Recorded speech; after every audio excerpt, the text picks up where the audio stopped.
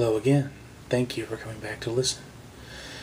Today's sermon is going to be very, very short, and if I were to entitle it, it would be Where the Power Lies.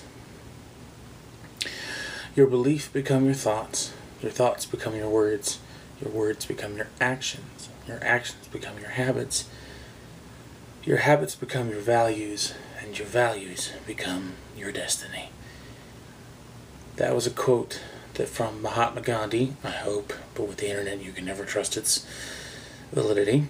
I'm certain you've all heard this quote or something like it as you've made your way through life. But even if it wasn't Gandhi that said it, the statement still has a very powerful meaning. The things in your soul you will eventually have to deal with in your flesh. Please note that words become actions, habits, values, destiny. And at some point you will have to experience the scripture, reap what you sow. That's 2 Corinthians 2 9 verse 6. I've recently been taught a lesson about words, curses spoken into life through words, word curses, and unrighteous judgments. In the scriptures, there are several statements that say the tongue can build up or tear down. That's my personal paraphrase. Those scriptures that I chose are James 3:10 and 1 Peter 3:10.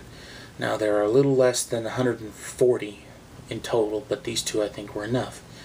Now, you might be asking yourself or me, how is it possible? How is it possible that our tongue, what we say, can build up or tear down somebody? The answer is very simple creative powers. When God created us, He gave us the same power of verbal fabrication that He has. And that is those things we speak can come into being. Now, as I said in one of my last sermons, now granted, if what we say doesn't line up with His plan, then it won't, then it's not going to happen. But when our words line up with what His what His plan is, these event the events that we speak will come to pass. I was trying to make clear that if we speak presumptuously, Deuteronomy 18, verse 20, the thing we speak will not happen. The Lord is operating a plan we cannot see, as I've said before. And as His children working to fulfill His will on this planet, He must limit our power to assure that His plan will come to pass.